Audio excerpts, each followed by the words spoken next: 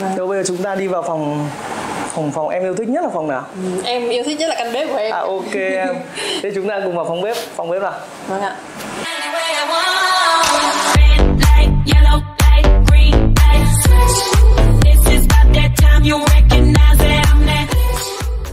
Với cái yêu cầu của em và mong muốn của em một cái phòng bếp nó rộng và cái tủ lạnh chủ đầu tư thiết kế được nó không nằm ở đây, nó nằm ở phòng khách cơ. vâng Nó thì anh đã tư vấn cho em là đập bỏ cái bức tường này, thu hẹp cái bức tường vào một chút. Đấy, cái bức tường ngày trước nó, nó nằm giật ra đến đây thì giờ anh đẩy vào, đẩy vào. Phòng ngủ bị mất mất diện tích một chút thì đổi lại để ta có cái tủ lạnh nằm ở đây. Và có cái thêm cái khoang này có thêm cái khoang lò nướng nằm ở đây. Thì chúng ta sẽ, sẽ có cả một cái bàn ở đây nó rộng rãi. Thì cái căn bếp này nó nó mới đúng ý của em đúng rồi trước thì ờ, cái không gian bếp này khá là chật ấy. Ừ. mà em thì thường là bạn bè cũng hay đến ăn này rồi ông bà bố mẹ thì ờ, em muốn là nhờ anh để, để ờ, cải tạo lại cho nó rộng ra một chút để Đúng em rồi. có không gian nấu nướng nó được thoải mái nó thoáng hơn đúng rồi cái phần cải tạo này là phần bên đau đầu nhất đây Vâng. anh phải tính toán làm sao để căn bếp vừa đủ và phòng ngủ cũng phải để phù hợp tủ áo cộng với giường ngủ các thứ ở bên trong mình mất diện tích đi mà Vâng. thì phòng ngủ nó phải vẫn còn diện tích. Làm sao nó phù hợp? Chứ đừng để vì cái bếp mà lại hỏng diện tích phòng ngủ. Nên bên anh đã rất tính toán kỹ và sau khi phương án bên anh, kiến trúc sư bên anh đã lên bản thiết kế và để cân đối lại và kết hợp với lại ban quản lý của tòa nhà đồng ý cho mình xử lý hạng mục như nào, thì sau khi chốt mọi phương án và phương án cuối cùng anh em đã đồng ý và anh đã xây lùi bức tường vào đến khoảng 70 phân và sâu vào bằng đúng cái cái phần này. Phần thùng tủ này à, anh à, tư vấn cho em là dùng cái thùng tủ melamin màu màu cái mặt của nó bên ngoài màu kiểu dạng như cái tấm vải. Vâng. Đấy như vân họa tiết của cái, cái, cái tấm vải. Thì nhìn cũng lạ đúng không em? Là lạ anh ạ. Ừ. cái lạ nó không bị nhàm chán. Đấy bởi vì cái cái thùng tủ này anh phải cố gắng chọn sao để nó ăn khớp với lại cái màu của cái mặt nó rất là hợp với hài hòa với cái không gian này và nó cũng dễ lau chùi. Anh thấy em mua cái, cái tủ lạnh này cũng màu cũng tương Vâng. tương đối nhỉ? Ừ. đây giới thiệu với uh, mọi người cái phần này là phần anh em tôi ngày trước rất là đau đầu ở phần nền đây. Ngày trước chủ đầu tư bàn giao căn hộ này thì toàn bộ ở đây là là sàn gỗ này chỉ có phần gạch ở đây. Phần gạch chỗ này là vì đây là bếp mà. Thì đây là cái hành lang đi vào phòng ngủ. Thì chung với hành lang bếp thì um, tôi có đưa ra cái phương án là bóc toàn bộ gạch lên và sàn gỗ chỗ này lên. Và toàn bộ bắt đầu từ phòng khách trở vào hết đây là lát lại hết. Thì sử dụng cái gạch à, 80 80 ốp cái gì màu đen chạy màu đen này thì tạo cho cái bếp nó có một không gian riêng và nó sạch sẽ hơn. Ngôi nhà này từ chủ đầu tư ấy thực sự là mình vẫn chưa hài lòng. Thì ờ, vì thế mà mình có ý tưởng là mình sẽ tìm một đơn vị để ờ, cải tạo lại cho mình ờ, từ phòng bếp này phòng ngủ cho đến là nhà vệ sinh. Muốn đập phá đi một số những cái bức tường và để bố trí lại cho cái không gian nhà mình nó được hợp lý hơn. Đó. Thì uh, giới thiệu với các bạn và em linh chắc em biết rồi đây là cái phần tủ bếp bằng mặt cánh acrylic của An Cường và toàn bộ mặt cánh trên dưới là mặt phủ bóng acrylic của An Cường và dưới anh chọn cho em. Cái màu ghi này nó rất là uh, ăn hợp với lại tổng thể của nhà đúng không? Cái mặt đá trắng này thì nếu chúng ta mà giữ gìn một chút thì nó sẽ rất sạch sẽ. Thì mỗi một điều là chúng ta à, bẩn đến đâu chúng ta biết phải lau luôn đến đấy thì nó không bị ngấm. Nó nhưng mà khi mà chúng ta vệ sinh sạch sẽ thì phòng bếp nhìn nó rất là à, sáng sủa không gian nó không bị chật hẹp thì thì đây là cái không gian bếp. Cái cái không gian bếp này nó không phải là quá rộng em. Thì anh cố gắng đưa những tông màu làm sao mà sáng là cái phần chúng ta thường được vào mắt này là phần tủ trên này. Nên chọn màu trắng để cho nó sáng. Và phần giữa khoảng giữa mặt đá và tủ trên. Như các ừm, không gian trước thì thường thường nhiều chủ nhà hay sử dụng cái mặt kính. Thì anh thấy nó cũng mặt kính rất là ok.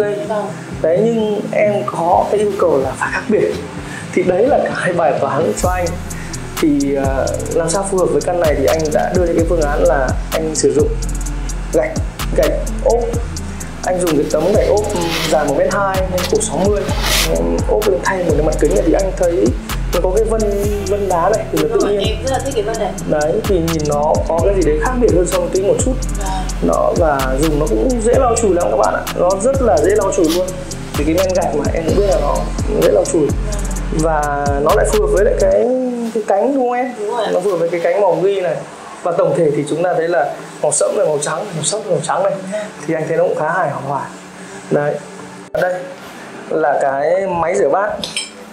Ừm, lúc đầu thì em cũng có ngưỡng ngự chần chừ về cái việc máy rửa bát đúng không đúng rồi thực ra là nhà em cũng khá là ít người không đông lắm Ừ. thì em cũng đang lăn tăn là cái vấn đề là mình còn nên sử dụng hay không Ừ, đấy.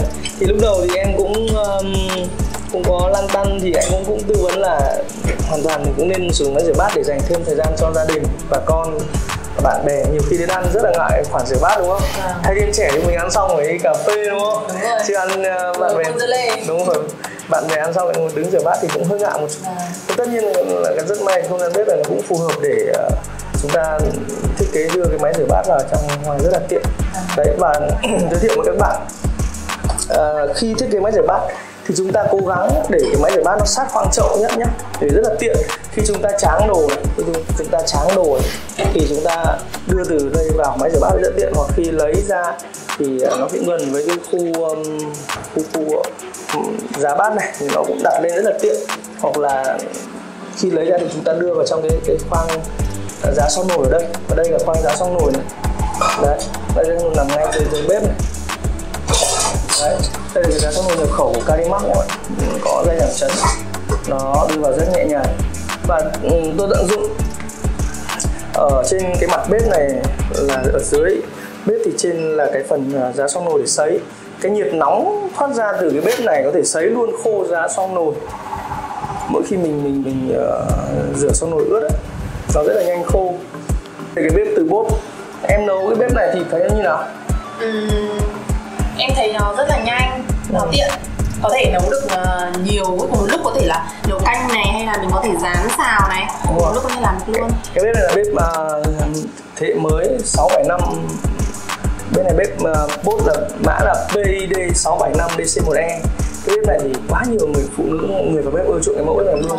Thì nó nhanh và nó design nó cũng đẹp. Và nó đặc tính của nó khi tắt đi thì hoàn toàn chúng ta không có nhìn thấy một cái cái cái cái phần ờ, để tắt mở nào những cái phần nhiều cái nút bấm ở đây. Nó chỉ có duy nhất một nút bấm nguồn ở đây cho chúng thấy thôi còn hoàn toàn bằng đèn led hết. Tất cả điều khiển đấy bằng điện phím cảm ứng và đèn led hết. Thành ra là khi tắt đi thì cái bếp nhìn nó không còn cái nút nữa, nhìn cái bếp nó rất là tinh tế.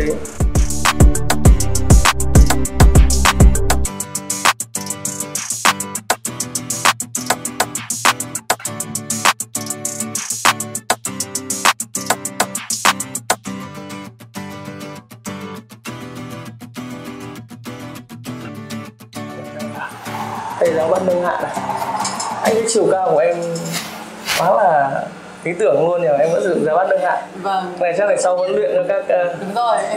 các bé là chịu khó dọn đồ bếp. Cái này sẽ tiện hơn ví dụ Đúng như rồi. là à, có thể mọi người dùng được hết kéo Ừ. xuống rồi ờ, rất thông minh. Đây là cái thương hiệu giáo bát ừ, của Carimax hàng nhập khẩu. Đây là thương hiệu rất là cao cấp và các bạn có thể tham khảo.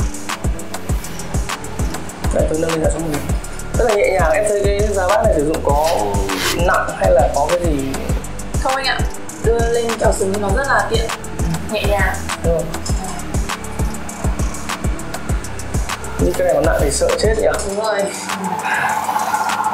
Em kéo xuống đây đây cái tay nâng bloom nâng hai cánh lên nó giảm chấn này. Mặc dù mọi người có thể là là là là, là kéo xuống một lực mạnh này. Đấy, nhưng mà nó vẫn giữ nhẹ nhàng xuống êm ái cảm giác nó không bị đập cái ờ, phịch một cái. Mà chúng ta nhấc lên này cho nên có thể hay một cái là nó giữ ở mọi vị trí. Có thể người cao người thấp chứ nếu mà như trường hợp mà nó chúng ta lắp lắp chuẩn là nó phải ở mọi vị trí đều dừng được.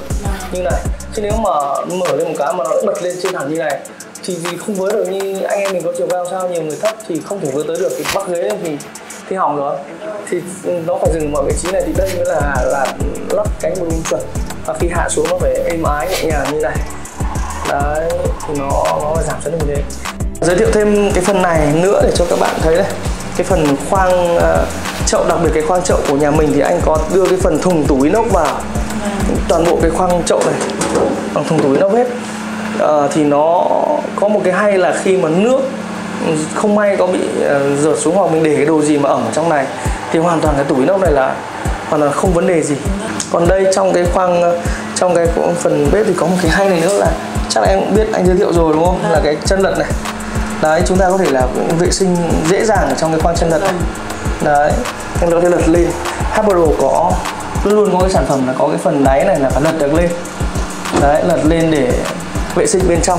Không bao giờ lo mà khó vệ sinh rất nhiều trường hợp nhiều đơn vị mà không tư vấn cũng không không làm cái phần chân lật này ấy, thì bên trong này lâu ngày nó bẩn ẩm mốc mà chúng ta muốn vệ sinh thì rất là khó. Tư vấn qua các bạn thì cũng chỉ có hơn một tháng thôi hơn một tuần thôi. Thế sau đấy thì gia đình mình lại có việc và phải vào Sài Gòn. Thì trong cái quá trình mà mình à, đi không có ở ở đây ấy, thì à, mình giao cho các bạn hoàn toàn là chịu trách nhiệm là ờ, cải tạo này cũng như là bày trí rồi để co lại tất cả cái không gian cho nhà mình. Thì trong cái quá trình mà mình đi ấy, thì là ờ, mọi thứ có một số phát sinh có một số phát sinh thì ờ, cũng khá là lo lắng. Thế nhưng mà à, thực sự là sau khi mà mình uh, trở về thì cũng là cái thời gian mà các bạn ý uh, hoàn thiện xong cái căn hộ cho mình. Thì mình thấy rất bất ngờ khá bất ngờ là uh, nó ưng ý với những cái gì mà mình mong đợi. Chỉ có một số những cái chi tiết nhỏ trong căn nhà là mình chưa được hài lòng lắm. Thì mình có trao đổi lại với các bạn và các bạn đã hoàn thiện có sửa lại cho mình. Đây là cái bức tường uh, hành lang vào phòng ngủ cũng như là hành lang của bếp. Thì uh, anh đã đưa ra cái phương án là trang trí làm sao bức tường này nó không thể để nó nó đơn giản quá được không thể để nó nó lại bị vô duyên. Anh phải đưa bức tường này nó là một bức trang trí. Thì anh có đưa mấy cái ô kiểu phào chỉ họa tiết tân cổ điển này vào để tạo thêm điểm nhấn để cho căn bếp nó thêm phần sang trọng. Và anh thấy cái bức tranh hai bức tranh này tranh sắt đấy. Đẹp ạ. Ừ. Ai vào cũng hỏi ấn tượng. Anh thấy nó cũng ấn tượng. Anh đưa vào anh thấy nó nhìn nó cũng cũng ai vào bảo như khách sạn ấy để cho mỗi lần mình đi ra đi vào nó không bị à, nhàm chán. Một cái đặc điểm nữa là em rất là thích ở trong cái không gian bếp này đó là cái đường ờ, đèn. À, anh ờ, thiết kế chạy dọc theo trong bếp. À, khi mà bật lên nó rất là sáng này thứ hai là bạn bè đến thấy rất là lạ mắt. Ừ cái yêu cầu của em, anh vẫn nhớ như in cái phần phòng bếp đấy là ánh sáng phòng bếp là phải cực kỳ sáng. Không như anh để mấy cái downline này ở đây, anh còn thêm cho em cái đèn led âm, đây là cái cái cái cái chạy cái led âm chạy dọc từ đây. Đây nó là cái phần anh bắt âm lên trên, có cái máng nhôm, bắt âm lên trên trần thạch cao. Thì nó tạo cho mình cái hiệu ứng ánh sáng rất là đẹp. Đây em nhìn khi mà, đây nhất là cái cái cái cái mặt cánh tủ của mình là mặt cánh acrylic nó là bóng nữa.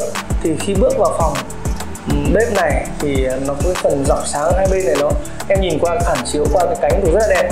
Cộng với lại cái phần gương như này phần gương này này gương của cái hành lang này tạo cái không gian thêm chiều sâu và nó thêm cái điểm nhấn cộng với lại nó sẽ chiếu lên cái hình đèn led sáng này em đi vào cảm giác rất là sâu. Đó cảm giác nhìn nó hài hòa mà cảm giác có cái sự ấn tượng trong căn bếp. Anh cũng rất là thích. Và có một cái đặc điểm hay đấy là khi mà ừ. khi mà em nấu nướng này em thì ờ, anh có thiết kế một cái đèn ở thế này. Đấy chúng ta đúng rồi thì thường thường ở bếp thì à, anh cũng mong muốn là à, có những cái ánh sáng nó nhiều nhất. Như cái nhất cái phần bếp này nên có những cái đèn ở đây để trường hợp mà nhiều lúc buổi tối hoặc trời tối hoặc là là là nhiều người thực ra là có những bạn bây giờ các bạn trẻ này ờ, thích ở đâu nó cũng phải sáng sủa lên. Vâng. thì bật lên ở đây nó rất là tiện trong quá trình nấu sơ chế đồ mà nó nhiều cái đồ mà nó cần cần phải nhìn kỹ hơn. Bắt, bắt sâu chẳng hạn bắt sâu chẳng hạn thì nó sẽ dễ dàng trong căn bếp hơn. Và ừ, từ khi mà mình nhận nhà đến bây giờ trước Tết thì cũng khoảng tầm được uh, nửa năm rồi. Và đi vào hoạt động trong gia đình thì mọi người cảm thấy rất là thoải mái này à, không có vấn đề gì cả. Và rất là ưng ý. Thì mình cảm ơn uh, đơn vị Hasbro uh, à, đã tái tạo lại cho mình cái căn căn hộ rất là ờ, ưng ý này à, hiện đại và à, không gian đẹp. Và mình sẽ um, giới thiệu đến tất cả mọi người à, bạn bè người thân để à, đến Hasbro khi mà có nhu cầu để sửa nhà. Ừ, rất là cảm ơn Hasbro phòng bếp chúng ta đến đây là cũng tương đối ổn rồi nhỉ tương đối rồi. Thì bây giờ chúng ta vào phòng ngủ nhé ok. Căn hộ này chỉ có 3 phòng ngủ Quý vị vừa xem xong tập 2 với một căn bếp rất là hiện đại. Vậy giờ quý vị đã sẵn sàng cho những căn phòng ngủ chưa? Bật bí rằng các căn phòng ngủ ở tập 3 sẽ có rất nhiều sản phẩm mà quý vị sẽ có thể yêu thích. Nếu quý vị đang tìm kiếm muốn xem một căn phòng ngủ sang trọng, hiện đại, đừng bỏ lỡ tập 3 của chúng tôi sẽ lên sóng trong thời gian sắp tới nhé. Xin chào và hẹn gặp lại quý vị ở tập 3.